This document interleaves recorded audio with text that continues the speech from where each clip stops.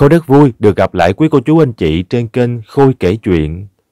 Ngay sau đây, Khôi xin gửi đến cả nhà mình tập 3 cũng là tập cuối của bộ truyện Những mảnh đời ghép lại, tác giả Lê Nguyệt. Khôi xin cảm ơn quý cô chú anh chị rất nhiều đã đón nghe bộ truyện này xuyên suốt cả 3 tập vừa qua. Và ngay bây giờ, Khôi xin bắt đầu.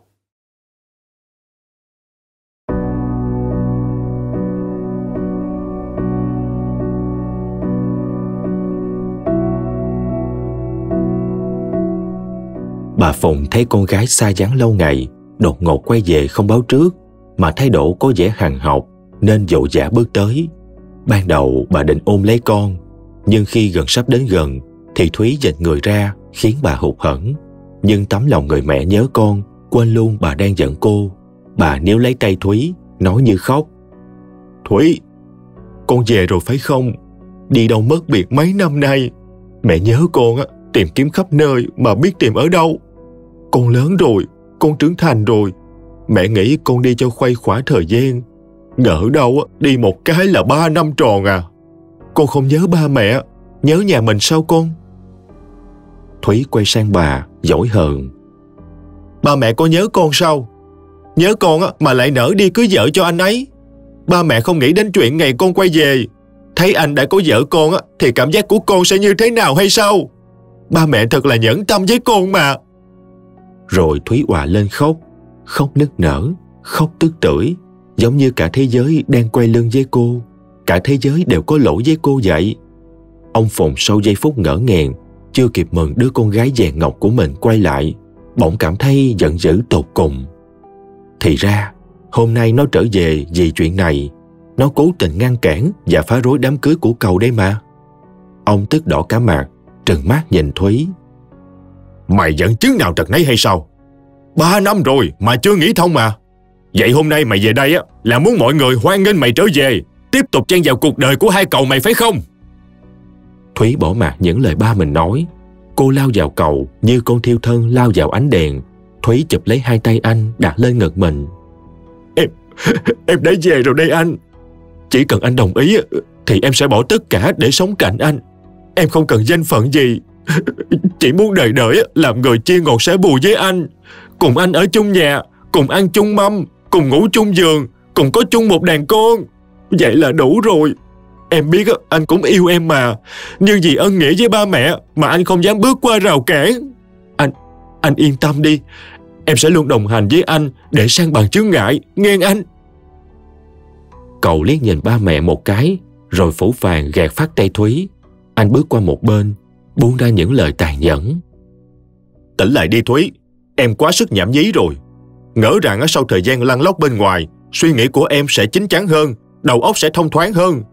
Ngờ đâu á, em vẫn y như vậy, mà lại có phần khó tha thứ hơn trước. Nè Thúy, em phải nhớ rằng á, chúng ta là anh em.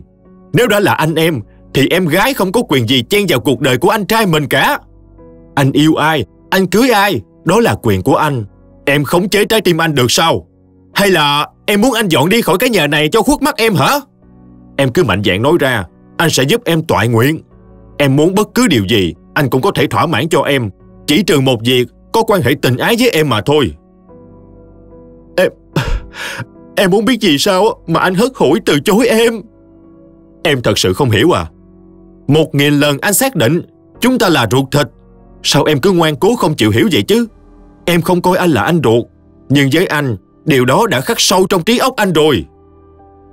Sau đó, cậu dở giọng gian sinh.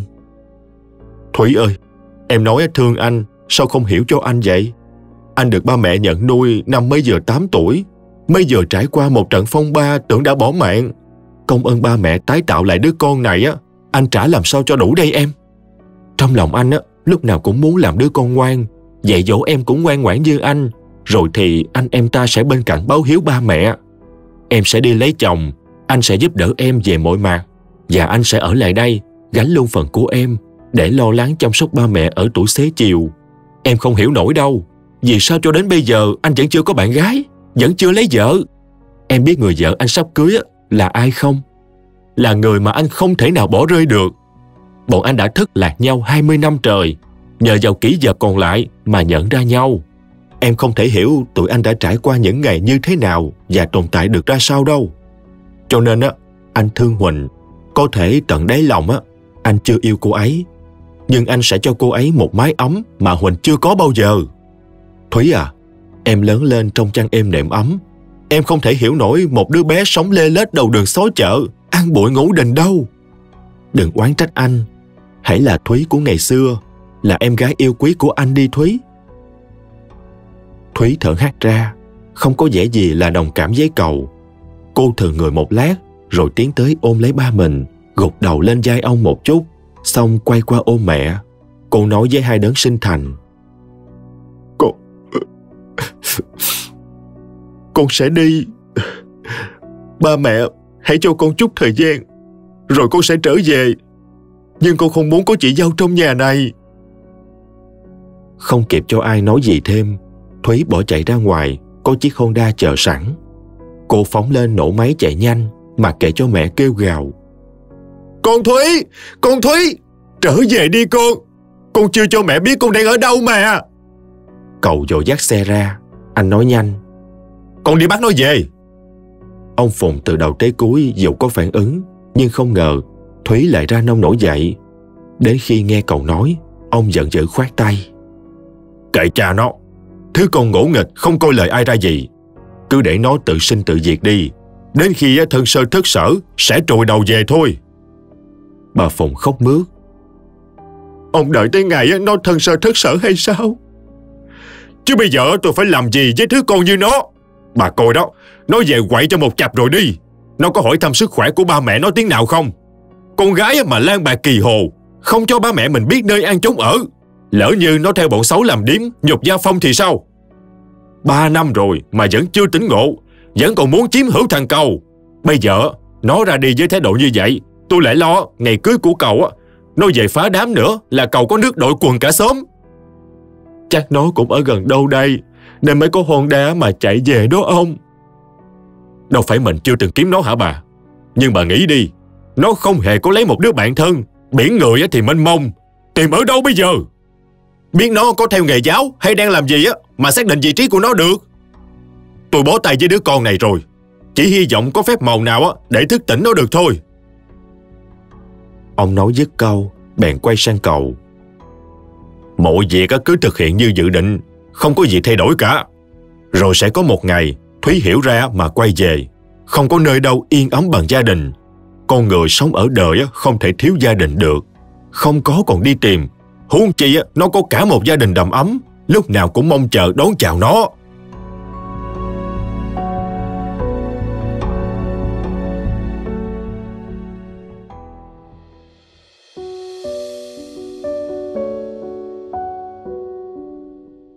Rồi thị Huỳnh cũng được cưới hỏi đàng hoàng, đường đường chính chính về nhà làm dâu ông bà Phùng.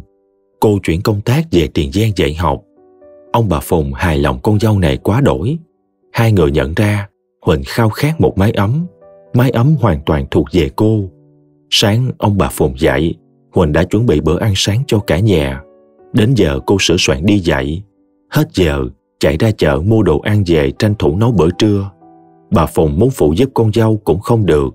Vậy là Huỳnh chuẩn bị hai phần cơm cho bà chạy xe đạp điện ra cửa hàng cùng ăn với ông. Trước đây, bữa trưa ông tự lo, chiều mới về ăn chung. Ở nhà, cầu về là hai vợ chồng trẻ ăn cơm với nhau. Bữa chiều, khi cả nhà quay quần đầy đủ mới ăn cơm, mâm cơm luôn thịnh soạn, nóng hổi, hợp khẩu vị ba mẹ và chồng. Huỳnh làm việc gọn gàng, nhanh nhẹn sóc giác. Bà Phùng giao việc chăm sóc vườn rau cho vợ chồng cậu. Bà cũng dẹp luôn vụ chăn nuôi. Một ngày, bà ở cửa hàng với chồng nhiều hơn. Nhìn thấy con trai hạnh phúc bên cạnh vợ hiền, bà vui lắm. Nhưng thâm tâm vẫn thấy đau xót cho đứa con gái bất nghỉnh bất nghẽn của mình. Ông khó quá, gia giáo quá, và cậu cũng cố chấp quá. Chứ nếu mọi người đều dễ dãi hơn, cậu chấp nhận Thúy, thì bây giờ Thúy sẽ hạnh phúc như Huỳnh vậy. Nghĩ đến Thúy, bà cảm thấy đau đớn như ai bóp chặt quả tim mình. Biết cô nơi đâu mà tìm. Ngày cô giận dỗi bỏ đi đến nay đã hơn ba tháng rồi còn gì. Cô chẳng thèm quan tâm tới ba mẹ mình nữa nên không hay cậu đã có vợ chăng? Chứ theo bà biết với cái nết của thúy, cô dễ gì buông tha cầu một cách dễ dàng như vậy?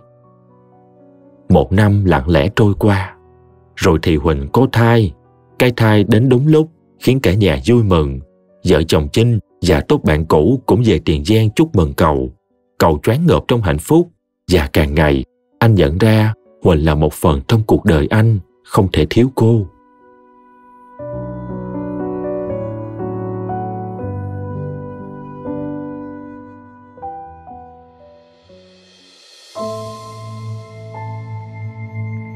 Thúy trở lại Cà Mau sau một tháng tịnh dưỡng ở bệnh viện. Cái ngày hôm đó, một ngày mà cô tưởng rằng mình sẽ được giải thoát khỏi bao nhiêu phiền toái của cuộc đời do tình yêu nhầm chỗ mang lại. Thúy ra khỏi nhà với sự uất hận phủ ngập trái tim. Ba mẹ không ai thương cô, không ai hiểu cho cô. Hai người đó đã từng yêu và đến với nhau. Với họ, tình yêu là sự kết nối của hai người yêu nhau để sản sinh ra hạnh phúc. Vậy sao họ không hiểu và thông cảm được tình yêu của cô? Thúy biết cậu không dám vượt qua vì anh trọng ơn nuôi dưỡng của ba mẹ. Nhưng đến với cô thì có gì sai chứ? Anh vẫn là con của ba mẹ mà lại càng thân thiết hơn vì anh sẽ là ba của cháu ngoại hai người. Không phải ba mẹ chẳng sợ tai tiếng gì sao? Ba mẹ đã nuôi nhận cầu, dắt díu nhau từ gò công về Tiền Giang và không tới lui chốn cũ chỉ để bảo vệ thân nhân gốc gác của cầu. Sao ba mẹ không vì cô mà lờ đi quan hệ anh em để toại nguyện cho cô chứ? Ra khỏi nhà với tâm trạng ngổn ngang, Thúy cắm đầu chạy một mạch với tốc độ không cho phép. Và ầm một cái, Thúy thấy tối tăm mặt mũi. Trong cơn nguy kịch, cô biết có người chạy đến đỡ lấy mình. Thúy thều thào chỉ tay vào giỏ sách. Điện, điện thoại, điện thoại Ngọc. Rồi ngất đi. Tỉnh lại, Thúy thấy Ngọc ngồi bên cạnh mình, vẻ mặt đầy lo lắng. Hỏi ra mới biết, cô hôn mê đã ba ngày, hiện đang nằm trong phòng chăm sóc đặc biệt của bệnh viện Bình Chánh. Thúy vừa trải qua cuộc phẫu thuật lấy máu bầm từ não, nên sức khỏe vẫn chưa hồi phục. Thúy nhắm mắt lại, lắng nghe Ngọc khóc rưng rức bên tai mình. Trời ơi, mày chạy kiểu gì vậy Thúy? Mày đụng người ta, chứ không phải người ta đụng mày. Rất may là bên kia không nguy hiểm đến tính mạng. Mà trong điện thoại của mày chẳng hề có số một ai, chỉ có của tao và một người nữa. Nhưng người đó tao gọi hoài không được. Mới nãy gọi lại thì có một ông già nghe máy. Tao cho ông hay mày gặp tai nạn. Ông kêu trời không ngất miệng rồi hỏi địa chỉ của bệnh viện. Thì ra mày đi dạy ở nhà ông phải không? Số điện thoại của cha mẹ và anh cầu đâu? Mày nói ra đi. Tao liên lạc về nhà liền. Thúy nhắm mắt không trả lời. Về nhà sao? Cô có thể về nhà với tình trạng như vậy sao? Thúy biết ba mẹ sẽ sẵn sàng mở rộng vòng tay đón cô quay lại. Hôm sau, khi vừa xuống trại thì có một thanh niên đến thăm cô. Anh cho cô biết mình tên Khang, Trần Đình Khang. Khang là con út của ông Bạc. Cha anh nghe tin mới điện kêu anh đến đây thăm Thúy và xem cô có thiếu thốn gì không mà giúp đỡ. Khang dáng dấp thư sinh, nói năng nhã nhặn lịch sự. Anh ân cần với Thúy như em gái mình. Khang cảm ơn Thúy thời gian qua đã hữu hỷ với cha mình, để anh chị em anh yên bề bên ngoài làm việc. Thấy Ngọc cả tuần nay cứ nghỉ việc để chăm sóc Thúy, Khang kêu cô về Sài Gòn để anh ở lại. Anh đang công tác cho công ty của anh mình, nên nghĩ cũng dễ dàng hơn Ngọc. Thấy và biết quan hệ của gia đình Khang với Thúy, nên Ngọc yên tâm ra về. Trước khi về, Ngọc gặn hỏi địa chỉ hay số điện thoại của nhà Thúy mà cô nhất định không trả lời. Thúy không muốn mình là gánh nặng cho gia đình nữa. Ngọc đi rồi, Khen ở lại chăm sóc Thúy. Cô vẫn còn yếu lắm, chưa đi đứng mạnh dạn và cũng chưa tự vệ sinh được. Khen giúp gì được thì giúp, còn khi phải cần làm những việc tế nhị, anh nhờ chị hộ lý làm giùm. Thúy ấy nấy vì sự có mặt của Khen, nhưng Khen không quan tâm. Khang nắm tay cô, ân cần. Em ở với cha anh, giúp ông vui. Anh chị của anh mang ơn em nhiều lắm. Từ lâu đã muốn làm gì đó để đáp tạ em rồi. Nhưng suốt ba năm dài, nhiều lần anh về quê cũng không gặp được em. Âu nay cũng là duyên số để anh đền ơn đáp nghĩa. Thúy ra dấu muốn ngồi dậy, khen âu yếm đỡ lấy cô, rồi ngồi dựa thành giường cho cô tựa vào. Thúy ngã đầu lên vai anh một cách tin tưởng, tin tưởng người thanh niên xa lạ mà cô mới gặp lần đầu. Tự dòng người khen Thúy chạnh lòng nhớ đến cầu Nếu là anh nhỉ? Ôi nếu là anh á Thì cô sẽ hạnh phúc biết nhường nào. Cậu cũng sẽ có những biểu cảm như khen Có khi còn hơn vậy nữa. Bây giờ chắc cả nhà đang cuốn cuồng tìm cô. Nếu như vì trận đụng xe này á, mà cô ra đi vĩnh viễn thì ba mẹ cô sẽ không hề biết tung tích về cô. Chỉ trừ khi họ nhìn thấy xác cô trên thông tin đại chúng báo đài gì đó thì cũng đã muộn màng rồi. Thủy thoáng nghe chút ân hận trong lòng, nhưng cô dội dàng gạt đi. Nếu như chết, có lẽ cô sẽ thanh thản hơn nhiều. Nhưng cô còn quá trẻ, tương lai còn đầy hứa hẹn, đâu thể vì phút bồng bột bất cẩn mà hủy hoại mình được chứ? Khen vuốt vuốt mấy sợi tóc lòa xòa trên trán thúy, anh hỏi cô. Em không cho ba mẹ hay à? Thúy lắc đầu, mệt mỏi trả lời. Đừng anh à ba mẹ chỉ có mình em. Nếu ba mẹ biết em bị thế này á, ác sẽ chịu không nổi đâu. Bây giờ coi như em đã ổn rồi, chờ xuất viện trở về với ông, đi dạy một thời gian cho thật bình phục, em sẽ về thăm ba mẹ. Coi như chuyện này á, ba mẹ không hề hay biết. Bằng không á, em sẽ chẳng được ở với ông nữa đâu. Rồi thúy ngước lên nhìn khang em cũng ổn rồi anh đi về làm việc đi, không cần phải ở lại với em đâu. Khen chặt lưỡi. Sao mà anh nó có thể bỏ em một mình ở bệnh viện được? Nếu như em không cho, anh gọi ba mẹ em lên. Nhưng em đừng lo, anh phụ với anh hai của anh mà. Anh hai kêu anh xuống lo cho em. Chị tư vừa mới sinh em bé, nên không xuống được. Anh thì rảnh rang, nhất là cha anh đang nôn nóng dưới đó. Tụi anh nó mà bỏ mặt em, thì ông sẽ lên tới liền cho coi thúy chớp mắt cảm động. Ông và gia đình đối với em tốt quá. Em chỉ là người ăn nhờ ở đậu nhà anh thôi mà. Trong lòng em á, ông đối với em rất quan trọng quan trọng như ba mẹ của em vậy. Em chỉ mong sao mình được sống bên ông thời gian dài hơn. Để có chuyện gì đều nói với ông nghe. Ông sẽ cho em những lời khuyên quý báu. Khen vui vẻ, anh nhìn thúy bằng ánh mắt đầy triều mến vậy thì hãy coi anh như anh trai của mình đi. Từ lâu, anh vẫn luôn mong muốn có một đứa em gái như em vậy. Anh trai. Nghe đến hai tiếng anh trai là trong lòng thúy bỗng dậy lên nỗi tức giận không thể diễn tả bằng lời được. Anh trai ư? Vậy là cô đã yêu anh trai của mình? Không, vĩnh viễn thúy sẽ không có anh trai. Không một ai chẳng do ba mẹ cô sinh ra, có tư cách làm anh trai của cô cả. Cậu cũng vậy và khen thì lại càng không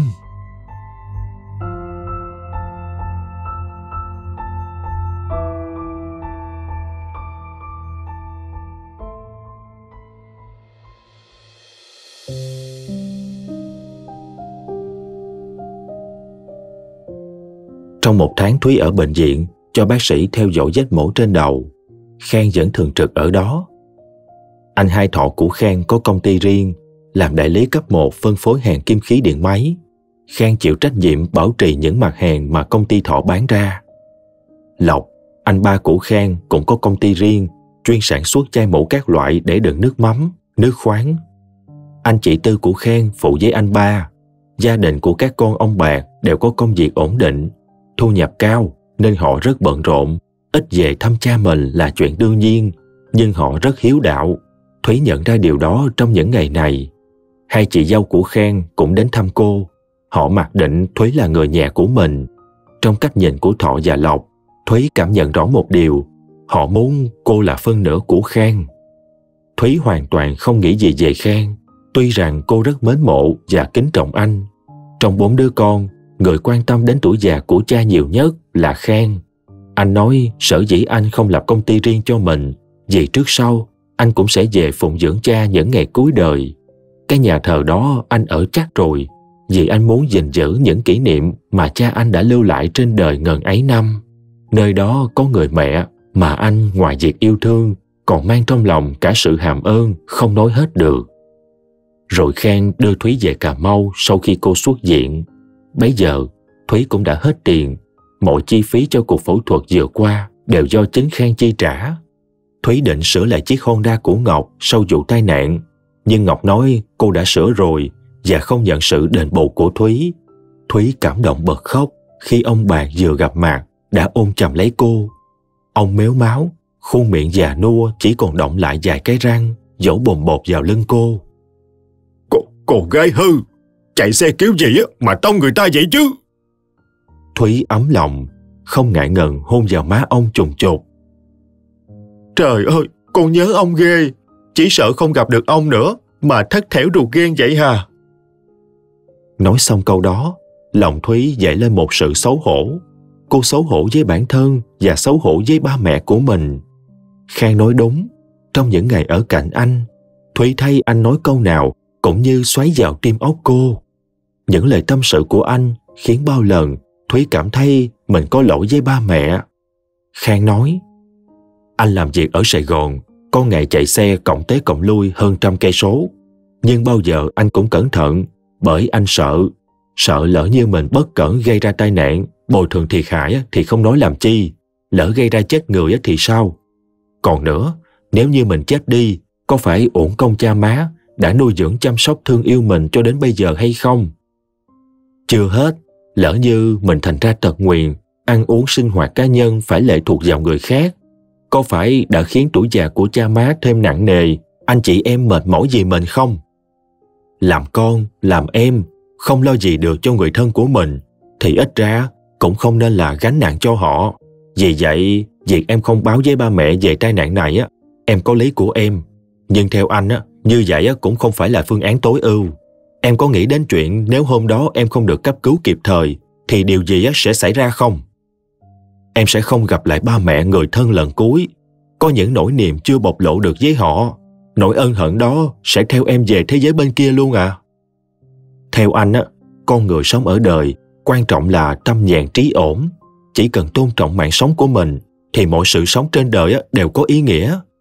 Anh không biết giữa em và gia đình có vấn đề gì, nhưng nhất định là có, vì kiểu giải thích của em là vì sợ ba mẹ lo. Anh thấy không hợp lý. Nếu như em đã từng sai, sao em không nghĩ rằng á, làm cha mẹ, nếu con mình gặp khó khăn hay phạm sai lầm á, mà chìa tay xin giúp đỡ, thì ba mẹ sẵn sàng nắm lấy bàn tay đó để làm mọi việc cho con. Sau này hiểu biết về anh hơn, em sẽ cảm thấy những lời hôm nay anh nói với em á, có ý nghĩa như thế nào. Lúc nghe những lời đó, Thúy cảm thấy lạnh lòng. Chị tay ra nắm lấy và làm mọi gì cho con sao? Ba mẹ cô đã bỏ rơi cô, đã xem tình yêu của cô như một nỗi nhục nhã của họ. Họ thà bỏ đứa con gái duy nhất của mình để đáp ứng cho đứa con nuôi. Một tháng trôi qua rồi, biết cầu đã cưới vợ hay chưa? Nhưng nếu đã hoặc chưa, cô vẫn không còn cơ hội. Vậy thì trở về làm gì? Về để nghe nỗi uất hẹn gặm nhắm trái tim mình hay sao? Thà là cô trở về đây, sống bên cạnh những người xa lạ để tìm quên, để thời gian xóa nhòa những ký ức đau buồn của mình. Ba mẹ thì mãi mãi vẫn là ba mẹ của cô, nhưng cầu thì sẽ vĩnh viễn không thể nào là anh trai của Thúy được. Cô có trở về cũng sẽ không chấp nhận chị dâu, dù đó là ai. Mấy ngày ở đây, sáng Thúy đi dạy, Khen ở nhà lo cơm nước chờ cô về. Nếu chiều có giờ, tan trường là Khang đã có mặt để đón Thúy rồi cùng về với nhau. Những em học sinh thường ngày đi với cô cũng tế nhị mà đi trước. Nhà trường quan tâm Thúy, không trừ lương cô thời gian gián mạng vì có giấy nằm viện của bác sĩ. Thúy nhận ra không nơi nào ấm áp bằng nơi này. Vết thương lòng của cô có thể sẽ được chữa lành. Ông Bạc rất vui vì Khang chưa chịu đi. Thọ điện về nói Khang cứ ở lại bầu bạn với cha, khi nào lên thì lên. Anh vẫn trả lương cho Khang đầy đủ để thay các anh mà chăm sóc cha già. Khang nói với cả nhà là anh muốn về Cà Mau để gây dựng cơ nghiệp, để ở gần cha mình hơn. Còn gì vui mừng đối với ông Bạc hơn vậy nữa. Khang cứ lên lên xuống xuống Sài Gòn Cà Mau như vậy, ngót nghét một năm trời. Bây giờ ở Tiền Giang, Huỳnh đã có thai rồi. Biết Thúy cùng họ với mình, ông càng thương cô hơn, coi cô như cháu nội. Nhưng ông cũng nhìn ra kiểu cách của Khang khi bên cạnh Thúy. Trời đất, chẳng lẽ thằng này cảm con nhỏ rồi sao vậy? Chẳng lẽ đây là phân nửa của nó hay sao? Nhưng Thúy đã từng nói với ông là cô đang yêu đơn phương kia mà. Nếu khen chọn Thúy, ông nhất định ủng hộ. Thằng con này ông chưa bao giờ phản đối nó điều gì. Trong bốn đứa con, nó quấn quýt cha má hơn cả. Bởi vì sao á, thì chỉ có những thành viên trong gia đình biết mà thôi. Điều đáng để cho ông hãnh diện với xóm làng là các con của ông. Tuy không chịu sống cạnh cha mình vì công việc làm ăn của chúng, nhưng chúng luôn lo cho cha đầy đủ, hiếu đạo và đoàn kết với nhau, không tranh hơn thua. Gia đình như vậy đối với ông là hoàn mỹ lắm rồi.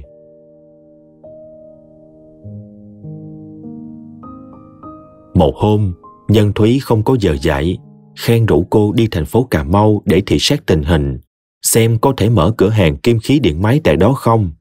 Nhưng khi nghe Thúy nói, nếu anh muốn ở gần cha, sao không mở ở Thới Bình mà phải ra tuốt Cà Mau, như vậy mà gọi là gần sao? Thì Khang lại đổi hướng. Anh cùng cô đi Thới Bình. Cuối cùng, Khang quyết định xin phép thọ về Thới Bình mở cửa hàng để tiện bề chăm sóc cha già. Tất nhiên, cả ba anh chị của anh đều vui mừng trợ giống cho anh. Khang đi Sài Gòn một chuyến để bàn bạc cụ thể với anh chị mình. Những ngày này, sao Thuy cảm thấy trống vắng lạ thường. Cảm giác này chưa từng xuất hiện trong lòng cô. Mỗi buổi đi dạy về, hình như cô mong có mặt Khang ở nhà. Thúy xác định là mình không yêu Khang. Anh cũng chưa từng trêu ghẹo hay tỏ tình với cô. Cô không yêu Khang vì tình yêu cô đã dành cho cầu rồi. Nhưng ba tháng liên tiếp ở cạnh anh, một tháng trong diện, Khang chăm sóc cô như chồng chăm sóc vợ. Những bệnh nhân nằm cạnh luôn ghen tị với cô là được chồng yêu, cả hai đều không giải thích. Nhưng lúc đó Thúy vẫn dưng lắm, mặc dù trong lòng đầy sự hàm ơn. Rồi hai tháng về đây, Khang bỏ công việc để ở lại với cô. Thúy nhận ra Khang yêu cha mình bằng một mối tình cao hơn cả tình phụ tử. Kiểu anh ân cần âu yếm với cha khiến cô mũi lòng, cảm thấy sao mà mình bất hiếu tới vậy. Cô chỉ quan tâm đến sự vui buồn của cầu mà ít khi quan tâm đến ba mẹ. Ở Khang, Thúy nhìn thấy hình ảnh cầu nhán qua nhán lại trong tim cô. Để rồi hôm nay, Khang mới đi xa cô có mấy ngày mà cô cảm thấy nhớ nhung. Cô đã yêu anh rồi sao? Làm gì có chuyện vô lý như vậy? Rồi chuyện gì tới cũng sẽ tới. Thúy tan dạy, cô về cùng đám học trò. Bỗng dưng cô muốn đi một mình, muốn mang tâm trạng háo hức, chờ đợi Khang đến đón mình như những ngày đã qua. Rồi cô lại mơ màng nghĩ đến khi về tới nhà, cô nhìn thấy anh loay hoay dưới bếp chuẩn bị cơm chiều, nhìn thấy trên môi ông bạn dáng nụ cười tinh quái chớp mắt ngó cô. Lúc ấy, cô sẽ phản ứng ra sao nhỉ? Chỉ nghĩ đến thôi mà một nỗi hạnh phúc nhẹ nhẹ tràn trong tim cô. Thúy lắc đầu. Mình nhảm nhí quá rồi. Đang cúi đầu bước và xấu hổ với suy nghĩ của mình thì cô nghe đám học trò lao sao.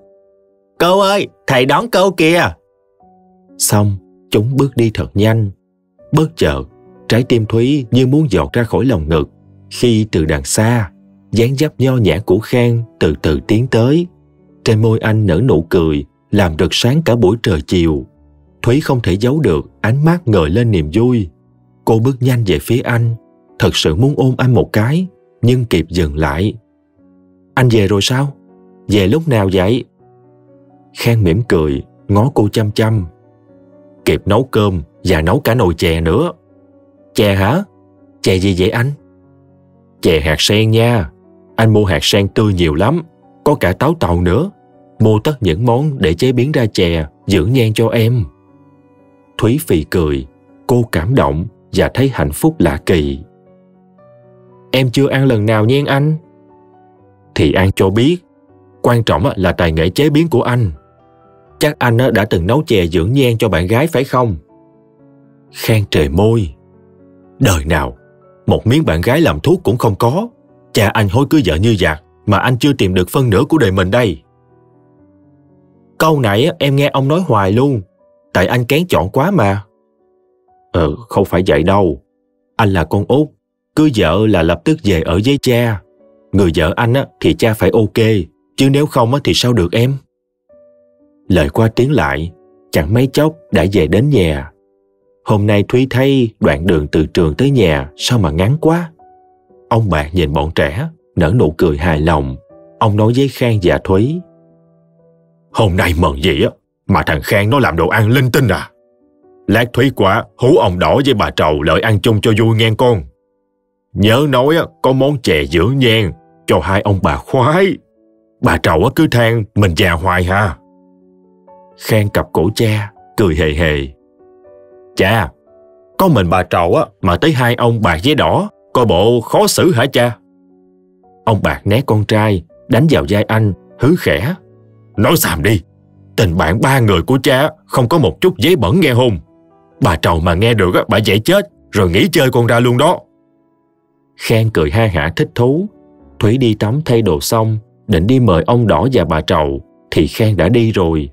Cô bèn dọn cơm lên bàn, xong xuôi thì ba người dắt nhau về tới. Bà trầu là một bà lão độ tuổi nhỏ hơn hai ông.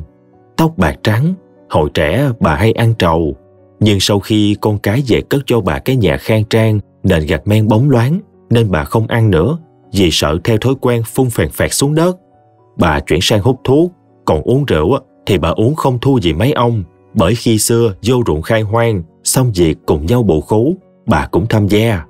Răng rụng cả, các con bác bà đi làm răng giả, nên hai hàm răng sáng ngời. Bà hút thuốc uống rượu, chơi với hai ông già như bạn tri kỷ. Các con của bà chưa từng phê phán cha mẹ mình bao giờ. Họ còn khuyến khích ông bà chơi với nhau để tuổi già không cô quạnh. Bà trầu ngồi xuống bàn, chĩa đổ ra, nói không kiên dè. Sao tôi nghỉ hôm nay á, ông bạn muốn giới thiệu con dâu với mình quá ông đó. Ông đỏ hưởng ứng. Chặt dậy rồi. Bà lạc hậu hay sao vậy? Ông bạc ngó qua cặp mắt, có vẻ sững sờ của Thúy, bác gặp cô ngó giáo giác như tìm kiếm ai. Ông cảm thấy chạnh lòng, chắc nó đang nghĩ con dâu của ông là một ai khác đây. Cho nên ông khéo léo đến chính. Hai người nói vậy không sợ con Thúy nó ngại hay sao? Khang cười tinh quái, ấn Thúy ngồi xuống. Em đừng bận tâm, chú và cô luôn chọc anh như vậy. Cô còn đòi làm mai anh cho cháu gái của cô nữa kìa. Bà trầu trề nhúng. Ê, mà mày có chịu dòm qua con nhỏ miếng nào đâu. Cái thằng này tao nghi mày có vấn đề gì về giới tính quá. Khang ha hả cười. Anh ngồi xuống cạnh Thúy đang xới cơm ra chén đặt trước mặt mọi người. Nhìn bà trầu cười run cả mặt. Cô đoán trúng bốc. Bởi vậy cha con đâu có buồn vì con không cưới vợ. Con ở dậy với cha con hoài. Nếu có cô nào chịu về sống chung với con, cùng lo cho cha con á, thì con cũng ok cái rộp. Nhưng cô đó phải đẹp, phải hiền, phải vui vẻ con mới chịu nghe. Biết đâu ở gần thời gian rồi á, con khôi phục giới tính sao cô? Bà trầu liếc anh. Vậy mày chê cháu tao không đủ khả năng cho mày khôi phục giới tính rồi. Trời ơi, để bữa nào tao nhốt hai đứa bay trong phòng hai ngày hai đêm. Coi bay có gì không cho biết. Khang cười bật gọng. Trời đất, cô quên cái họng con nó bự cỡ nào sao cô? Con mà la làng á, cả xóm bu lại giải cứu con liền. Nói hổng lợi mày á, thằng quỷ sống à. Ông đỏ chan miếng canh chua vô chén rồi đặt xuống, ngó ông bạc mà nói cùng Khang. Kiếm đâu xa Khang ơi, tao với cha mày á, chấm con Thúy giữ thần rồi nè. Hổng ấy, hai đứa bay cưới nhau đi, cho ba ông bà già này đi khỏi Cà Mau mần su vài bữa đỡ buồn coi. À, mà cha mày nói với tao là thấy hai đứa bay coi bộ cũng hợp cả lắm đà. Khang chúng chiếm cười liếc qua Thúy. Cô nghe máu chảy rần rần trên mặt mình. Cảm thấy đôi tay sao mà dụng về kỳ lạ. Thúy đứng dậy, thẹn thùng kêu lên. Ông đỏ kỳ quá nha, ừ, không cho con ăn cơm luôn à. Rồi cô đi ra nhà sau, giấu đôi má đỏ bừng. Ở nhà trên, nghe tiếng ba người già cười rần rần. Tiếng khen ôn tồn. Người ta là con gái mới lớn. Cô chú ghẹo vậy á, mày môn em ấy không dám nói chuyện với con luôn á. Là con mắt đờn đó. Thúy hai má nóng rang. Cô chống tay xuống bàn suy nghĩ về mình. Sau hôm nay biểu cảm của cô lạ quá vậy? Bình thường, hễ mỗi khi bạn bè gán ghép cô cho ai, cô cũng đều nói quạo, sẵn sàng phòng mang trận má với họ. Hôm nay tuyệt nhiên không, hay bởi vì cô nể mặt những người mà cô đã yêu thương kính trọng? Không, với ba mẹ mình, cô càng yêu thương hơn, nhưng cô đã có thái độ như thế nào với ông bà? Thúy đo lại tình cảm của mình với cậu. Phải, cô chưa từng thấy thẹn thùng với anh. Cậu muôn thuở là người thuộc quyền sở hữu của cô. Trong mắt Thúy lúc ấy, không ai qua được cậu. Nhưng tính cách của cậu và Khang khác xa nhau. Cậu luôn tỏ ra đạo mạo quá so với tuổi của anh. Cậu tương tiêu Thúy, nhưng từ lâu rồi, anh không còn trêu đùa với cô như hồi còn nhỏ nữa. Càng lúc, anh càng tạo ra khoảng cách giữa hai người. Vậy mà Thúy lại ngộ nhận rằng chính vì cậu đã đem lòng yêu cô nên anh ngại và lo lắng chuyện tới tai ba mẹ. Vì vậy cô đã bứt phá, đã dũng cảm lên tiếng giúp anh. Ngờ đâu, anh chỉ coi cô đơn thuần là một đứa em. Cậu đã yêu ai? Thúy chưa từng nghe anh nói hay thấy anh thân thiết với cô gái nào. Hôm rồi anh nói sẽ cưới Huỳnh. Huỳnh là người đã lớn lên và cùng trải qua thời khốn khổ với anh. Huỳnh ấy bây giờ ở đâu? Làm gì? Sao lại có khả năng giật cầu ra khỏi tay cô như vậy? Nhưng Thúy cũng công tâm mà nhận ra. Từ lúc Khang xuất hiện, cô ít nghĩ đến cậu hơn, ít thấy anh tàn nhẫn với cô hơn. Rồi từ khen, Thúy lại cảm nhận ra một điều nữa. Trên đời còn có rất nhiều thanh niên để cô lựa chọn, không nhất thiết là cầu. Ở bên cầu, cô thấy mình an tâm vì cảm giác được bảo vệ, lâu dần thành thói quen dựa dẫm vào anh. Ở bên khen thì lại khác, cô cảm thấy ấm áp, ấm áp khi nghe anh nói, khi nhìn anh cười. Cậu đi đâu rồi cũng sẽ về nhà, đúng giờ đúng khác. Còn Khang, anh đi vì công việc, mà công việc của anh không phải ở đây. Anh nói giải quyết xong chuyện thì về, nhưng thoát một cái là 10 ngày. 10 ngày, sao mà Thúy thấy dài thâm thẳm như vậy? Lúc trước học đại học, muốn gặp cậu, cô chỉ cần alo một tiếng là anh sẽ tới ngay. Còn bây giờ, ngay cả số điện thoại của Khang, cô cũng không dám hỏi. Khang về và bất ngờ đi đón cô tan trường. Thúy thấy tim mình đập rộn ràng, ánh mắt ngời lên vẻ hạnh phúc mà không cần soi gương. Cô cũng biết được, ban nãy nghe bà Trầu nói Khang muốn giới thiệu bạn gái khiến trái tim cô thắt lại. Cứ nghĩ anh đã dắt ai đó về nhà. Sau đó nghe ông đỏ đến chính, Thúy lại thấy lòng mình nôn nao một nỗi khó tả. Tại sao? Tại sao vậy chứ? Lẽ nào Khang đã có mặt trong trái tim cô mà cô đinh ninh mình đã đóng lại rồi sao? Nghe tiếng ông bạc kêu cô lên ăn cơm, Thúy bước đi như người mộng du, bất ngờ không tự nhiên như trước giờ được. Thái độ của Thúy đã nói lên nội tâm của cô rồi. Nhưng bên cạnh Thúy là những người sỏi đời từng trải. Thoáng một cái, không khí đã trở nên rộn ràng vui vẻ và mọi sự ngại ngùng cũng dần biến mất, nhường lại cho niềm hạnh phúc đang âm thầm len lỏi vào trái tim cô gái. Lúc này mới thực sự bắt đầu yêu.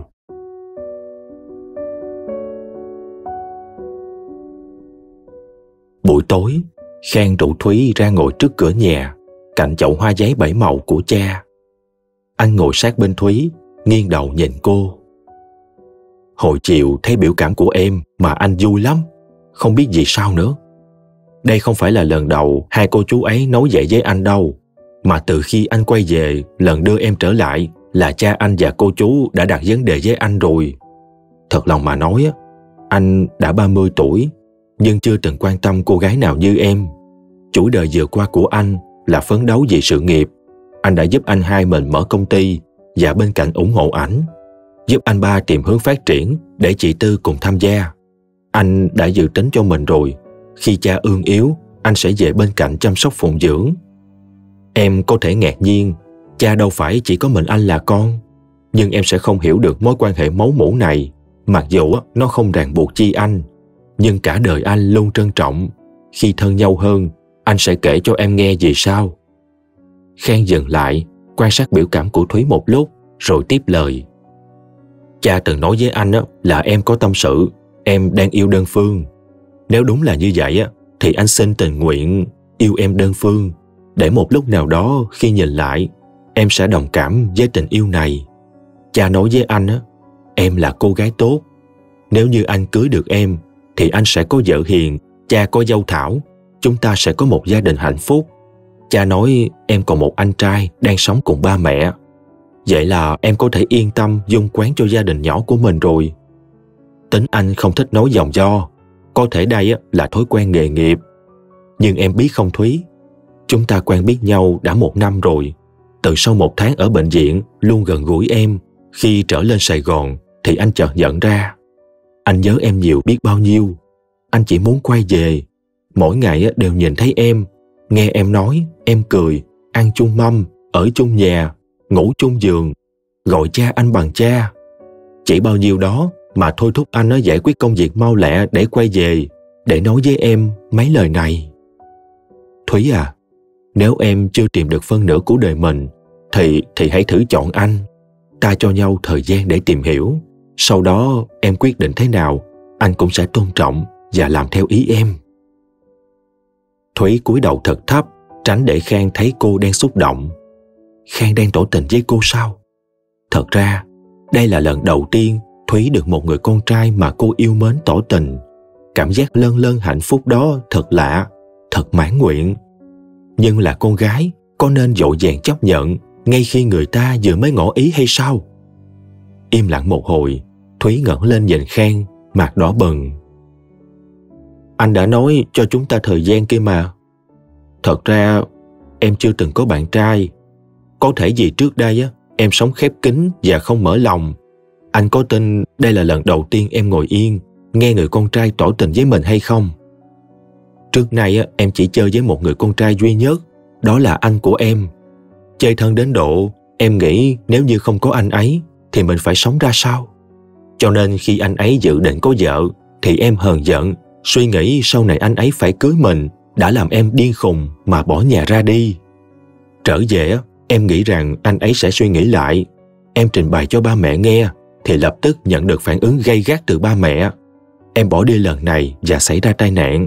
Nhưng khi anh đến bên, chăm sóc ân cần với em, những ngày tháng bên cạnh anh, em mới nhận ra mình điên khùng, mình thương anh trai một cách mù quáng, rồi ngộ nhận đó là tình yêu. Tình yêu không ích kỷ như vậy. Thật sự bên cạnh anh ấy, em chỉ có cảm giác yên tâm vì được che chở, nhưng không có sự rung động mãnh liệt như bên cạnh anh. Chính anh đã đánh thức trái tim tưởng đang ngập ngụa trong tình yêu ngộ nhận và ai cũng cho rằng tội lỗi của em. Anh biết không, em đã mong nhớ, đã chờ đợi anh về. Hàng ngày tan trường, em chỉ mơ ước nhìn thấy anh đi đón. Và hôm nay, anh đã đi đón em. Chỉ nhiêu đó mà làm em vui cả buổi chiều. Em nghĩ nếu như bây giờ mà anh đi cưới vợ, chăng trái tim em sẽ bể rộng ra từng mảnh á. Có chịu đựng nổi hay không á thì chưa biết được. Khang cười, âu yếm kéo đầu cô ngã vào vai mình. Thúy dựa vào người anh một cách đầy tính cẩn. Em sẽ không làm màu anh à. Em sẽ không nói những lời không thật với lòng mình. Thích anh á là thích anh, không phải chờ anh nói ra năm lần bảy lượt mới đồng ý. Tính cách này á, em mong anh đừng đánh giá em. Khang choàng tay qua vai Thúy, dùng hai ngón tay chặn miệng cô lại. Đừng nói gì thêm, mà hãy lắng nghe hai trái tim cùng chung nhịp đập.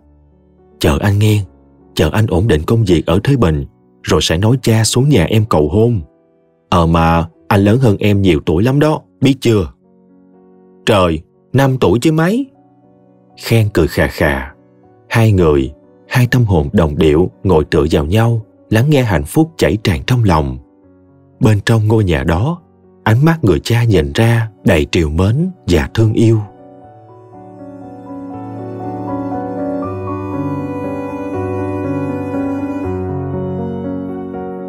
Khang may mắn sang lại được một mặt bằng ở trung tâm chợ Thái Bình. Cửa hàng này có diện tích rất lớn.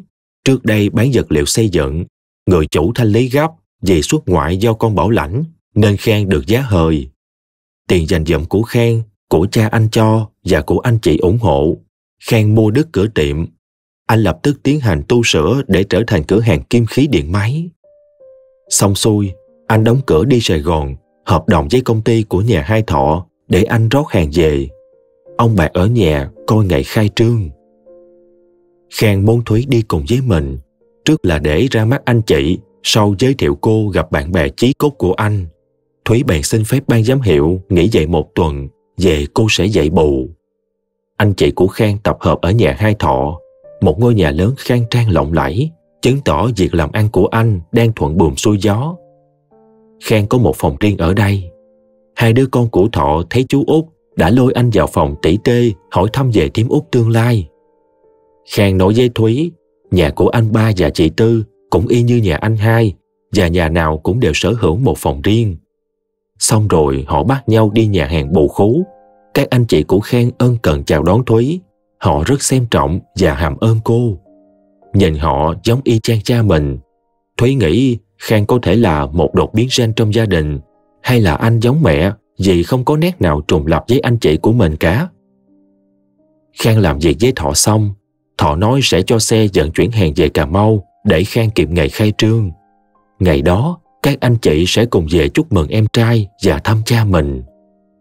Thúy ngưỡng mộ tình cảm của họ và âm thầm tiếc nuối cho sự lỗ mãn của mình khi bỏ nhà ra đi.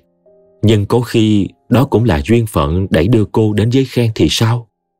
Hôm sau, Khang chở Thúy đi gặp bốn bạn của anh. Trên đường đi, Khang chở cô ghé vào một quán cà phê, nói là có điều muốn bày tỏ trước khi để cô gặp nhóm bạn cũ. Khi ổn định chỗ ngồi, Khang nghiêm túc nói với Thúy. Khi gặp đám bạn này rồi á, em quyết định có nên lấy anh hay không là tùy em. Nếu em phân biệt đối xử, thì anh cũng sẽ không ngần ngại gì á mà từ bỏ em đâu.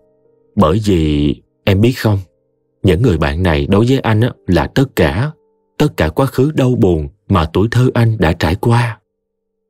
Đây là tốt bạn giang hồ, giang hồ theo nghĩa bóng thôi em, chứ hiện nay có người đã thành đạt, người tệ nhất cũng có việc làm tự nuôi sống bản thân. Họ là những người không biết cha mẹ mình là ai, nguồn gốc từ đâu đến. Họ cam chịu sự bất hạnh của mình sau khi trải qua biến cố trọng đại trong đời. Và cũng vì biến cố đó mà bọn anh đã gặp nhau. Bọn anh không hề cắt máu ăn thề, nhưng cũng không hề bỏ nhau, không hề khinh thị nhau. Trái lại, còn thương nhau hơn ruột thịt. Hôm nay, anh sẽ để em biết rõ hơn về người mà em có quyết định muốn ăn đời ở kiếp hay không. Thúy Châu mày nhìn khen. Anh làm em hiếu kỳ rồi nè. Tại sao lại có tuổi thơ cơ nhở chứ? Lát nữa em sẽ hiểu tất cả. Sự thật sẽ phơi bày trước mặt em. Nhưng để anh nói cho em biết sơ về những người bạn này. Đó là vợ chồng anh Trinh, Tụi anh coi ảnh như đại ca. Bởi vì lúc xưa, ảnh luôn bao bọc chở che cho đám trẻ vô gia cư như anh. Sau đó, ảnh lấy tầm, là người trong nhóm. Có Tám, có Vượng, có Thành, Vượng và Thành là tên sau này dì kia đặt cho. Lúc đó anh đã được cha má nhận về nuôi rồi. Những diễn biến về chuyện sinh nhai của tụi nó, sau này anh mới nghe kể lại.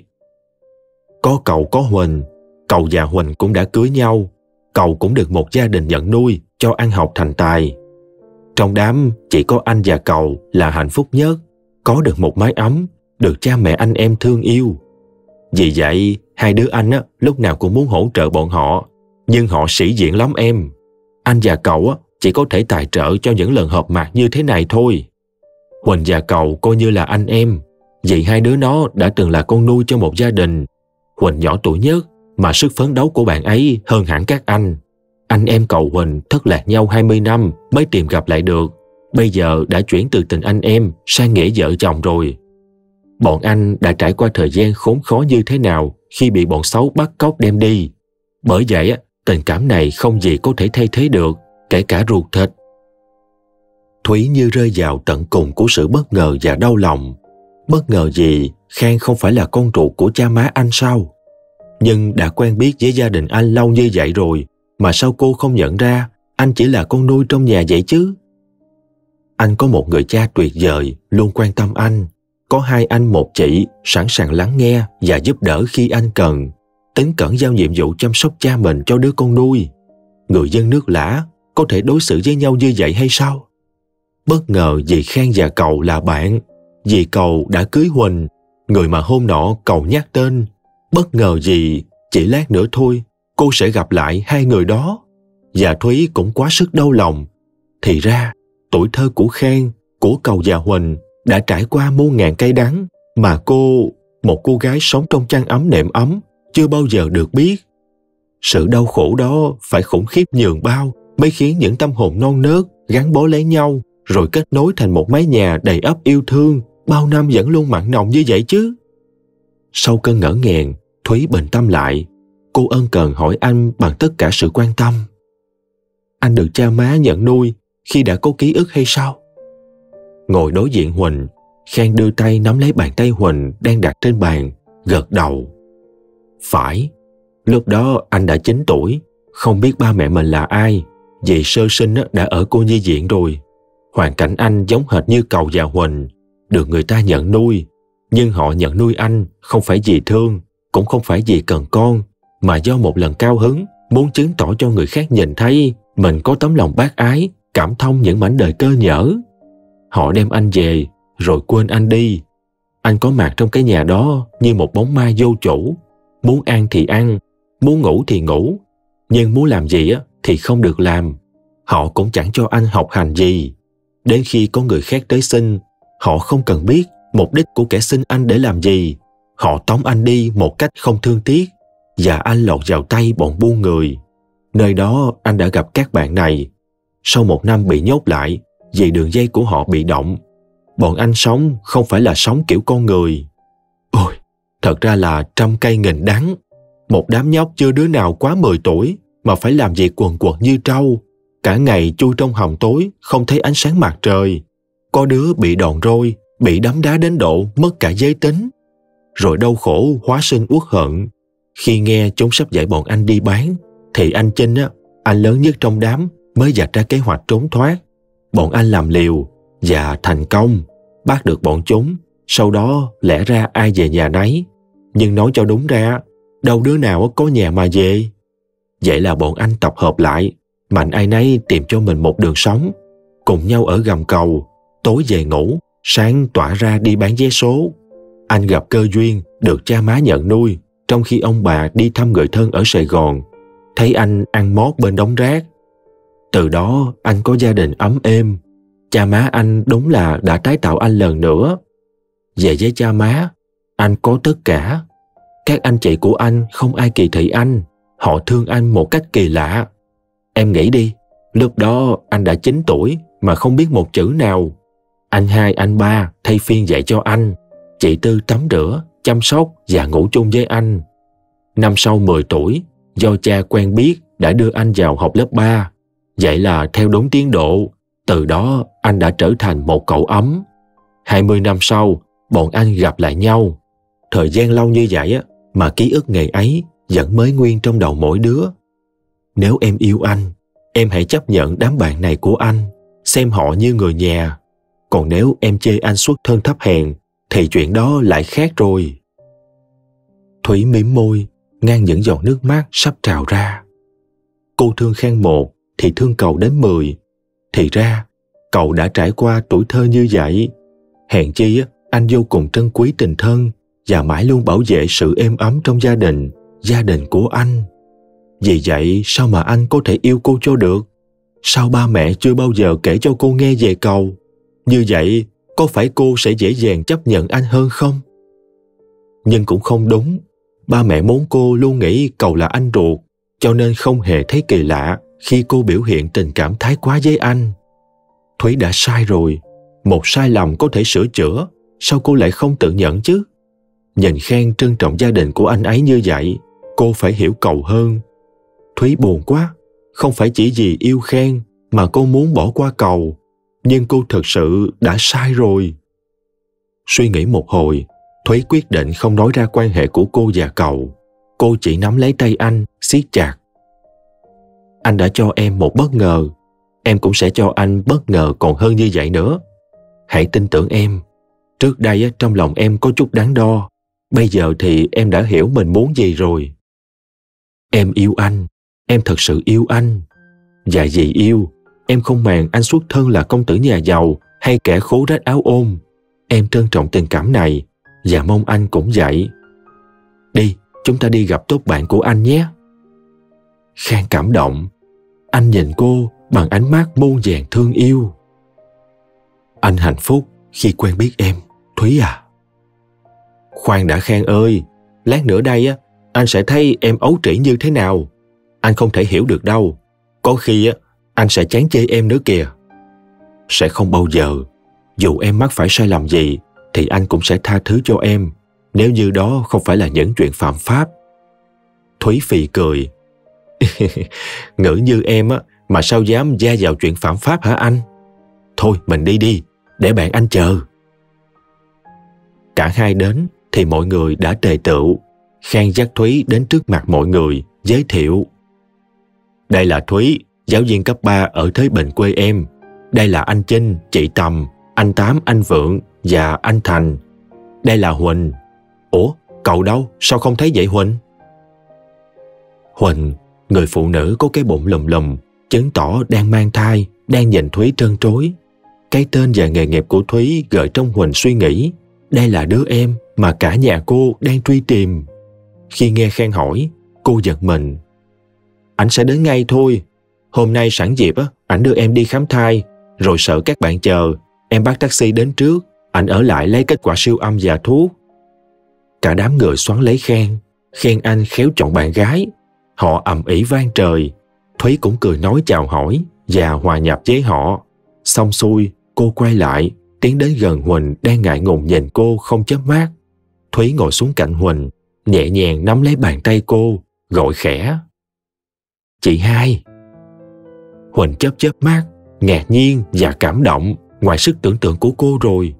Huỳnh hỏi khẽ. Thúy nhận ra chị sao? Em vừa nghe anh Khang nói, vì vậy em mới biết tất cả về chị và anh hai em. Em thật lòng xin lỗi hai người. Lẽ ra em không có mặt mũi nào mà nhìn anh chị cả. Nhưng mà... Huỳnh dội vàng đưa ngón tay đè lên môi Thúy, không cho cô nói tiếp. Thúy nắm tay chị dâu kéo xuống, mỉm cười thật tươi. Cô đứng dậy giọng dạc nói lớn. Xin phép các anh chị, em muốn long trọng tuyên bố một chuyện. Chắc chắn anh chị sẽ rất là ngạc nhiên, nhất là anh Khang. Anh chị không thể nào ngờ nổi, chị Huỳnh là chị dâu của em, vợ anh Cầu. Em và anh Cầu có chung một ba mẹ đó. Đúng vậy, mọi người đều bất ngờ với tuyên bố này. Tầm từ phía bên kia bàn dọt qua thật nhanh, nắm tay Thúy. Tầm nựng cầm cô, vuốt tóc cô, rồi nói với Huỳnh. Cưng ờ, có cô em chồng dễ thương quá. Bây giờ lại là bạn gái của thằng Bóng Khang thì quá sức tuyệt vời. Huỳnh cười ha ha, phát vào vai tầm. Chị kêu Bóng Khang ờ, làm Thúy nó ngại. Em biết vì sao ờ, mà Khang có biệt danh đó không? Vì ảnh đã 30, đẹp trai, nghề nghiệp ổn định, gia thế khá giả, mà chưa từng có bạn gái, nên các anh chị đây á, nghi ngờ giới tính của ảnh mới kêu vậy đó. Thúy cũng góp phần. Cả xóm nhà ảnh á, người ta cũng nói vậy đó chị. Họ còn làm mai ảnh cho con cháu của mình á, nhưng ảnh từ chối, nên ai cũng nghi ngờ ảnh không phải đàn ông. Mọi người cười vui vẻ, khoảng cách rút ngắn lại, khen quýt Thúy theo kiểu con gái giận hờn. Dắt đi rồi á nói xấu tôi hen, về nghỉ chơi với ai kia luôn. Đám người cười gian, sảng khoái. Chinh nhíu mày, đầu hơi chết xuống nhìn cô, Tấm tắc khen. À, thì ra đây là Thúy em của cầu. Rất dễ thương. Vậy mà anh chỉ nghĩ đơn thuần là Thúy bạn gái Khang thôi. Anh có nghe về em gái của cầu và đặc biệt có ác cảm với cô này. Nhưng với bạn gái của Khang thì không mà nghe. Có một sự trùng hợp lạ lùng mà tạo hóa sắp đặt hay sao vậy? Vợ chồng cậu đã tìm kiếm Thúy suốt bao nhiêu năm. Hôm nay tình cờ hay cố ý mà Khang đưa Thúy đến đây vậy? Khang bất ngờ mới sực nhớ. Anh cũng trợn mắt ngó Thúy. Anh nói lớn nhưng giọng nói chất chứa sự vui mừng. Điều bất ngờ em dành cho anh là đây sao? Thúy gật đầu chúng chiếm cười. Khang vỗ đùi kêu thành tiếng. À, anh cũng sơ ý quá. Anh biết chuyện của cậu và em gái. Cũng biết chuyện em và anh trai. Mà sao anh không hệ thống lại thành một hen? Thì ra khi yêu, con người ta mù quáng vậy đó. Yêu em là chuyện mù quáng hả anh? Bậy bậy bậy bậy. Ý anh là mù quáng trong việc phán đoán đó chứ. Trước yêu em một, giờ biết em là em gái của cậu, thì lại yêu em tới mười. Huỳnh kéo tay Thúy ngồi xuống cạnh mình. Lát á, em kể cho anh chị nghe hiện giờ em sống ở đâu. Chuyện em và Khang á, bao giờ thì tính. Rồi thì em á, nên đưa Khang về ra mắt ba mẹ. Chị tin chắc ba mẹ sẽ vô cùng vui mừng. Ba tuy nói cứng như vậy, nhưng tấm lòng cha mẹ em không hiểu hay sao. Mẹ ngày đêm thất thỏm trong đợi tin tức của em đấy. Em về lúc này á, là hay quá Thúy à. Thúy gật đầu. Dạ, gặp anh hai xong, em sẽ cùng anh chị về nhà. Chị đang có thai hả chị hai? Ừ, bốn tháng rồi em. Tâm Vượng và Thành chắc lưỡi. Thằng cầu lâu quá vậy cả. Đợi nó tới nơi á, mà bắt mâm đói muốn rã ruột rồi nè. Ngoài cửa quán, cầu xăm xăm đi vào. Ai kêu tôi đó? Có tôi đây! Đám người ré lên cười gian động cả một khu. Tự nhiên Thúy thấy hai má mình nóng bừng. Cô muốn nhào tới ôm chầm lấy cầu, bằng vòng tay của cô em gái, chứ không phải vòng tay tội lỗi năm xưa.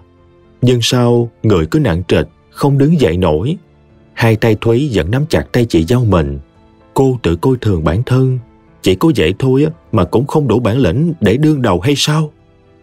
Cậu vừa bước vào, đã đưa mắt tìm vợ, và anh khựng lại khi nhìn thấy Thúy. Phản ứng đầu tiên của anh là lo sợ Thúy sẽ làm khó Chi Huỳnh. Nhưng khi thấy Tầm một bên, Huỳnh một bên, ai cũng có vẻ ân cần âu yếm với Thúy, thì anh bình tâm lại. Cuộc họp mặt hôm nay là để Khang giới thiệu bạn gái. Vậy lẽ nào Thúy là bạn gái của Khang hay sao? Đúng rồi, trong khuôn mặt cô ấy điềm đạm trầm tĩnh nhìn anh, chứ không nhảy thóc vào anh như mọi khi. Cậu cảm nhận Thúy đã nghĩ thông và chọn cho mình đối tượng khác xứng với cô rồi. Trong lòng vô cùng hớn hở, cậu hân hoan cặp cổ Khang. Sao? Chú mày nói giới thiệu bạn gái. Vậy chú mày á, có biết bạn gái mình á, là em ruột của anh hai đây không? Khang dương cổ ra, nên mà khiêu khích. Mới biết cái sột, nhưng anh hai của bạn gái á, cũng đừng ý thế hiếp người nhé, nhá. Thành lớn tiếng. Thôi thôi, nhìn bà con dòng họ gì á, thì hạ hồi mà tính đi. Chờ thằng cầu á, đói muốn rã ruột rồi đây. May mà hôm nay á, con vợ tao xin nghỉ không được, chứ nếu như con nó nãy giờ nó nhảy nhõng lên rồi. Chinh trề môi. Ba thằng bay á thiệt tệ. Hôm nay nhóm mình ra mắt thành viên mới, mà ba con vợ đều vắng mặt. Mày muốn gặp Thúy ngoài đường á, lỡ nó thân mật với đứa nào á, thì không khéo bị vợ thằng đó lôi ra sạc một trận cho coi nè.